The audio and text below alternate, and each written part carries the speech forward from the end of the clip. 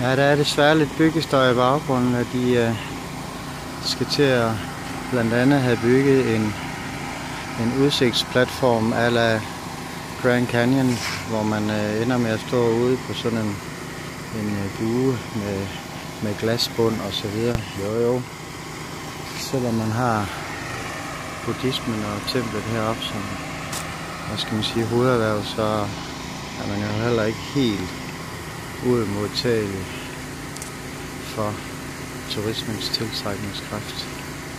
Men prøv lige at se.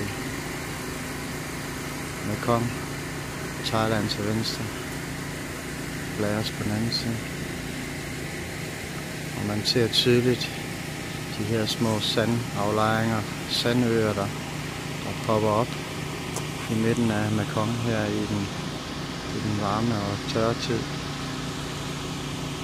Og varme passer ikke. Det er den køligste tid, men, men den tørste tid.